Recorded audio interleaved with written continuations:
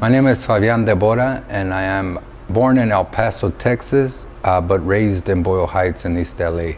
I was I was brought from El Paso, Texas, at the age of five, and I grew up just here east of the river, which is Aliso Village, Pico Aliso uh, housing projects back in the early 80s. And growing up in these housing projects is when I start to become exposed to cultural richness and and aesthetics that influenced me and shaped me to the person that I am today.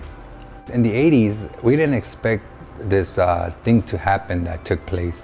My father being a great man, my mother very traditional Mexican immigrant, uh, eventually due to the, the challenges and the obstacles that came from immigration was causing a lot of disparity in the household. So my father had to do what he had to do. And in this case, he became a drug dealer, brother.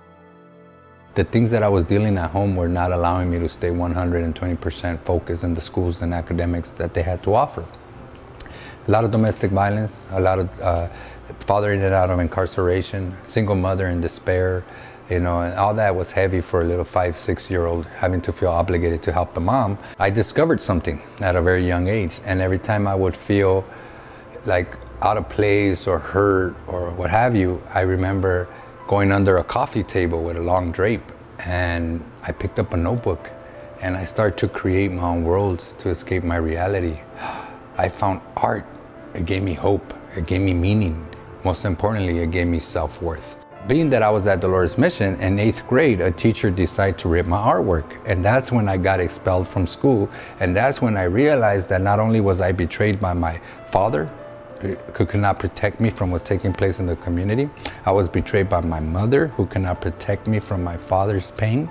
And then I was betrayed from my community, who didn't step up in time of need. In that moment, I realized that it was dead end after dead end after dead end after dead end. So then it's like, you know what? F the world then.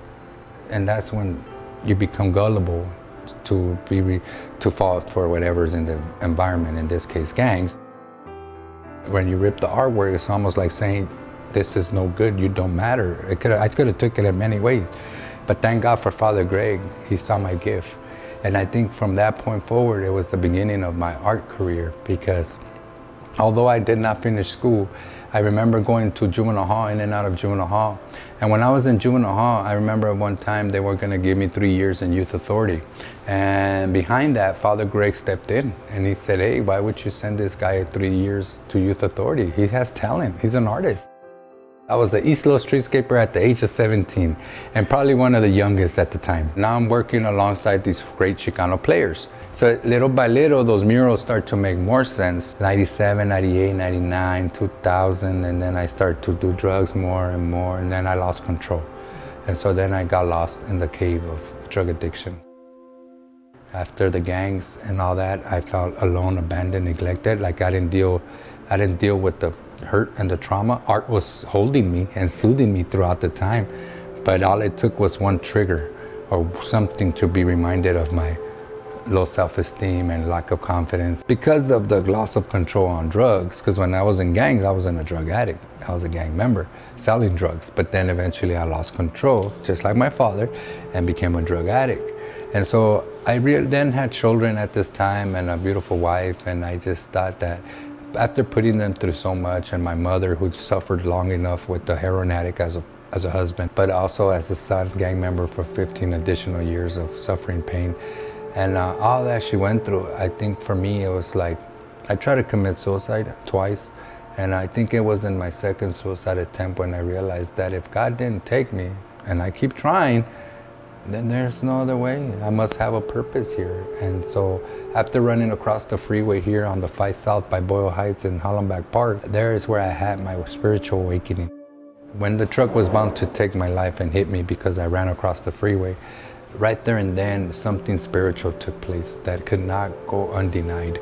Something that felt great, like the feelings of my abuelitos, my grandmother, my grandfather, the feelings of joy, happiness, and serenity, the feelings that can only come from something greater. In this case, mi Dios. And right there and then I learned and understood that every son must return to his father. That day I did, and the thought of my children was the purpose why I should live. And that's when I went to rehab. And if it wasn't for that near-death experience, I probably would have probably, I would have dead eventually, or I probably would have never gotten it in a sense. And that's when I was able to get the help needed, go to Homeboy, evolve as an artist. But it's also important that I then say, okay, now you're clean, you're sober, you've gained access. What can you do? As to give access. So it's not about me just becoming the artist and then coming down and say, hey, come on, you guys, I figured it out. No, it's about walking with people. Everything I've learned at Homeboy and what makes me unique as an artist is that I'm, as I'm doing my craft, I'm also uplifting others. And for me, it's about how do we then take what I've learned from the streetscapers and the movement of the Chicano movement and embody, uh, encapsulate time through my experience.